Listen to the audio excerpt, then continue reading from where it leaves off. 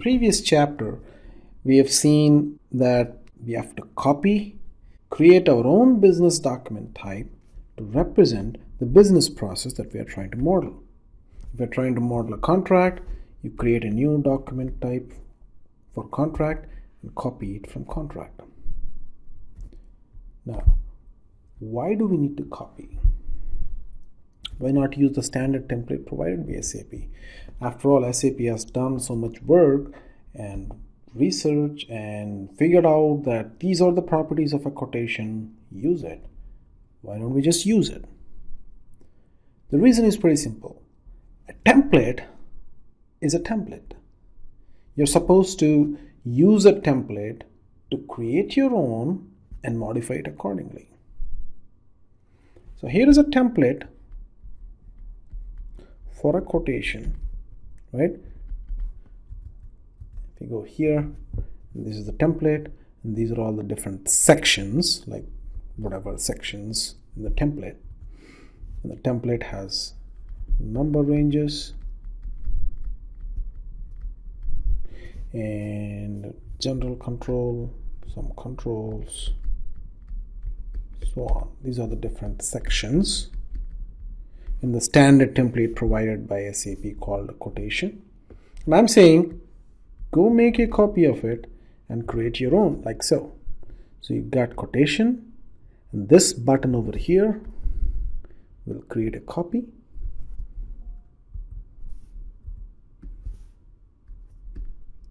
So use this button to copy and create your own see it says specify target entries.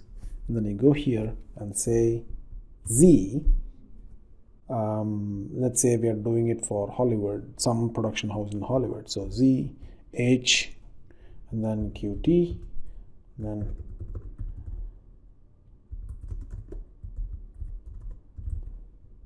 Hollywood quote. And then when this pops up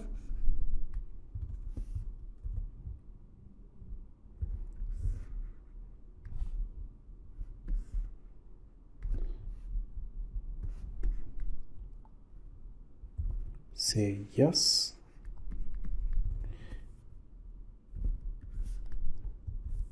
Then you change the name here right? I missed that step. So I'm going to put that here as well. So change change the name to something else zxxx and then give a description give description. And then when this pop-up comes up click yes. And then save it. So it's going to take some time and ask you for what is called as a customization or customizing request. So what you got to do here is for now just go and click on this button. It's very similar to the way that we have seen customization in enterprise structure, right? So I go here, go out, click on this button and give a description. Say, um, create ZHQT quote, save it right? And you get this picture. You get this pop up again.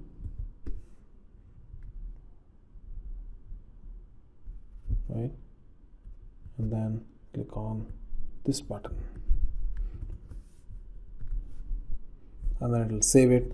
And then create your custom template called Z Hollywood quotation. Now why are we going through this procedure why not just use it as it is like I said, a template is a template. It's supposed to be used only as a reference. So SAP has provided this for reference. So use it, copy it, and then change the properties. There are a couple of reasons why we have to do it this way. This is the standard SAP approach to configure any module, not just SD, MM, PP, you take any module, it's the same thing. SAP provides some configuration. If you want to use it, make a copy, create your own, and then start to modify things. That will better suit your requirements or your business processes. We'll see some examples of changes. But before that, let me talk about another point. So when we do this copy, this the name of this document type is Qt, right? And then I did ZHQT. I didn't just do HQT for Hollywood quotation, right? It's just four characters after all. See, one, two, three, four. That's it. That's the unique code that identifies that sales document type in SAP. Why did I use a Z? Why did I start with a Z? Why couldn't I just have said HQT? There's something called as namespace. Okay, so what's a namespace? Namespace is something that tells SAP what's the starting letter. Well, there are many definitions for it, but for now, let's just say that the starting letter dictates the namespace, meaning when SAP delivers a new document type in the next release, say for example, the current release is 4.7 the release as in software release right? We have different versions of windows. So let's think about windows for a bit.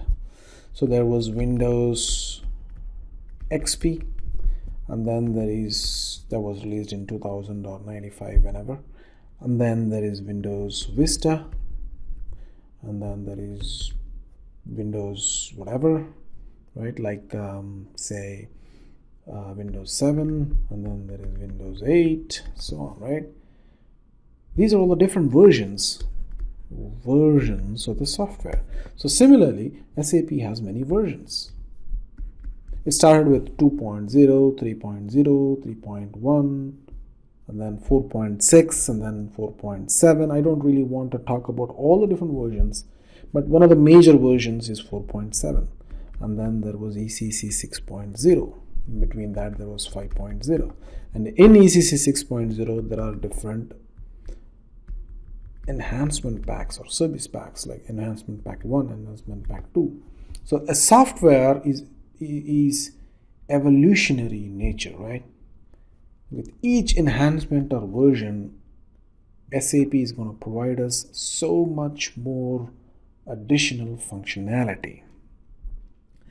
And for example in the next release let's say current release is enhancement 1 and in the next release SAP is going to tell us or give us an additional piece of functionality in the quotation maybe a little checkbox here that makes quotation behave in a very different way trying to encompass more business scenarios or maybe SAP wants to give us a different quotation type specifically for media houses in Hollywood. Say HQT if it happens to be HQT, the one that SAP delivers in EHP2, then if you have created HQT as a copy of Qt, this is going to be overridden. And your business process stops with that upgrade. Which means when you upgrade from this to this, well, you're not going to do the upgrade your system admin of SAP is going to do the upgrade, that there's going to be a whole bunch of testing and so on. So it's not something that happens out of the blue. Understandable. But when you do this upgrade, and if SAP has come up with a new quotation for Hollywood in an enhancement pack 2, then you'll have to create a new version, say HQ1 as a copy of Qt and use it to represent your business process. Whereas because SAP has overridden your business process with a starting name of H. Now, it's not fair, right? Why should SAP override anything that's already configured? You know what you're doing, so why should this enhancement or the next version override what you're doing? It boils down to the fact that SAP is a packaged software.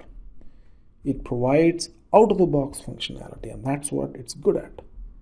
So it provides the functionality, use it.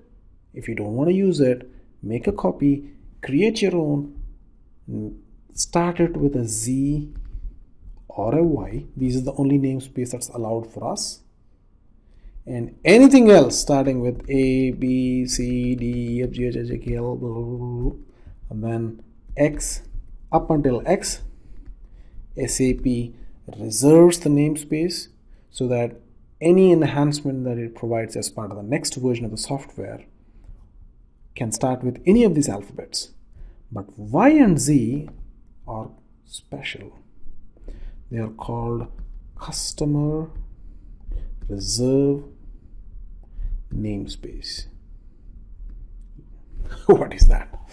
So this means that anything that starts any kind of configuration, be it a document type or whatever, that starts with a Z or a Y is respected in an upgrade, meaning that SAP will not override them because SAP will not deliver them in the first place. And that's what is the use of starting with a Y or a Z. Now, this is a little too much at this point, I understand, but no worries. As you keep doing this configuration, make sure that whenever you start a new document type, always start it or an item category, or any other configuration, except for some things like enterprise structure. They are exempt because SAP does not deliver enterprise structure elements by default. So 1000, 3000 company codes, they are not delivered by default in any SAP installation. So you can have any numbers or anything. You don't need to start it with a Y or a Z.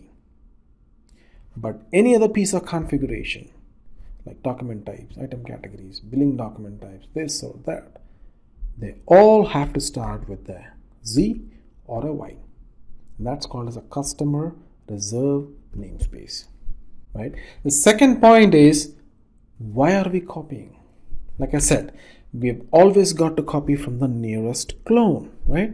So if you want to model a quotation, you went to Qt and created the Hollywood quotation. If you are working in this coal digging company and you want to create a quotation for a coal coal mining company, maybe you'll have Z something C Qt. And the properties of this is going to be different from the properties of this. What properties? The properties could be anything that we have specified here. You know, any of these are all, all these are properties. And any of them could be different. You could go change it from 70 to 80. You could go change this from AG to CN. If it's permitted, of course. You could go change it from 05 to 06. Now, I understand we have not seen these things yet, we don't know what they are, but these are like the different levers that control the entire business process. So, if you change something, the behavior changes. And that's what I mean by the nearest clone. So, when you want to create your own business process, copy it from the nearest clone and then start it with a Z or a Y as a matter of principle. and then start changing the properties behind it. So, with this, you should be able to understand what is a document type.